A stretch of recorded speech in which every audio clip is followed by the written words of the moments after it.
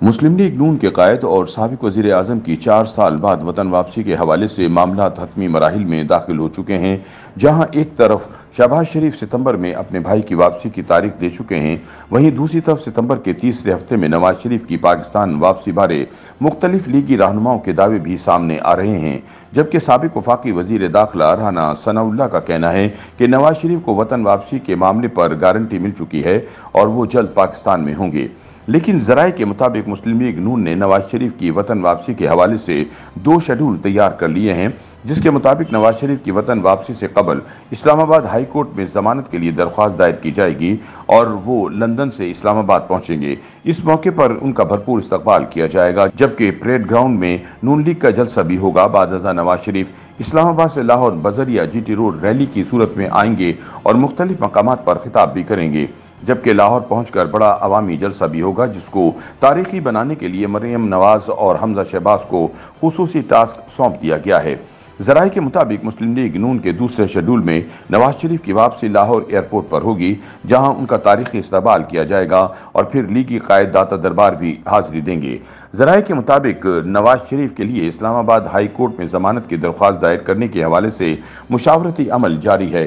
दरख्वास्त दायर होने के बाद जमानत मिलने की सूरत में ही नवाज़ शरीफ की लंदन से वापसी की राह हमवार होगी।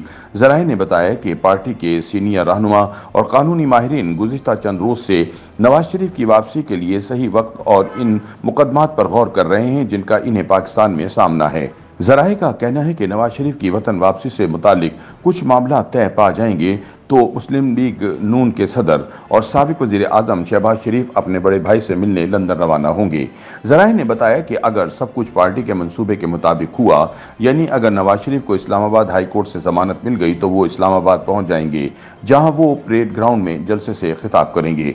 मनसूबे के मुताबिक वो जलसे के बाद जी टी रोड से लाहौर चले जाएँगे, जहाँ मरियम नवाज़ और हमजा मिलकर पंजाब भर के पार्टी कारकुनान को मुतहर करने के लिए एक तारीखी रैली का अहतमाम करेंगे जिस से नवाज़ शरीफ खिताब करेंगे, ताहम इस प्लान में आखिरी लम्हात में तब्दीली का इम्कान है। ये भी मुमकिन है कि नवाज़ शरीफ वतन वापसी पर इस्लामाबाद के बजाय लाहौर ही पहुँचे और जलसे से खिताब करें। दूसरी जानब सबक वज़ीर दिफा ख्वाजा आसिफ ने दावा किया है कि नवाज़ शरीफ सितंबर में वतन वापस आएँगे। ताहम पार्टी के कुछ सीनियर रहनुमाओं का ख्याल है कि नवाज़ शरीफ को आम इंतबात से एक या दो माह कबल वापस आना चाहिए। हल्का बंदियों के सबब आइंदा बरस मार्च तक आम इंतबात मौखर होने का इम्कान है। मुस्लिम लीग नून के हलकों का ख्याल है कि नवाज़ शरीफ तब ही वतन वापस आएँगे जब इन्हें पाकिस्तान में दरपेश मुकदमात में रिलीफ मिलेगा। जराये का कहना है कि नवाज़ शरीफ की वापसी में ताखिर ये ज़ाहिर करती है कि वापसी का टिकट बुक करवाने से पहले अभी भी इन्हें कुछ यकीन दहानियाँ दरकार हैं। फरवरी या मार्च तक इंतबात में मुमकिन ताखिर नवाज़ शरीफ को अपने केसेज निपटाने के लिए मजीद वक्त फराहम करेगी। दूसरी तरफ़ मुस्लिम लीग नून के सीनियर रहनुमा और सबक वफाकी वज़ीर दाखिला राना सनाउल्ला ने कहा है कि नवाज़ शरीफ की वतन वापसी के मामले पर गारंटी मिल चुकी है।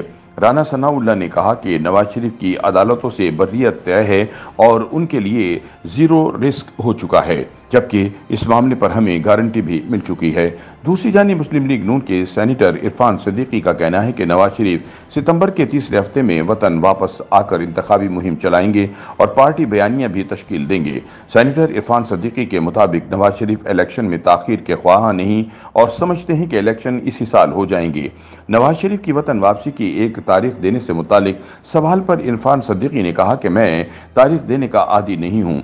नवाज़ शरीफ से रोज़ बात होती है, ताहम गुफ्तु महफूज ना होने के बायस वापसी की मखसूस तारीख पर गुफ्तु नहीं करते।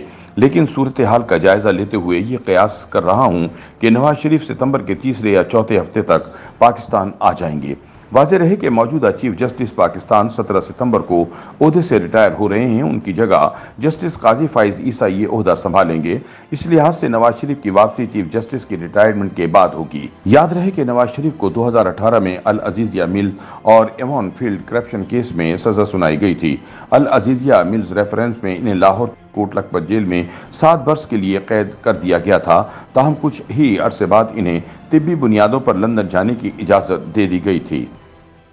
YouTube पर गूगली न्यूज़ देखने के लिए YouTube.com की सर्च बार में गूगली न्यूज़ टीवी टाइप करें। गूगली न्यूज़ के पेज पर सुर्ख रंग के सब्सक्रिप्शन वाले बटन पर क्लिक करना ना भूलिए। YouTube पेज पर अपलोड होने वाली वीडियो से बाखबर रहने के लिए बेल आइकन पर क्लिक कीजिए। आपको हर नई वीडियो के बारे में नोटिफिकेशन मौसू हो जाएगा।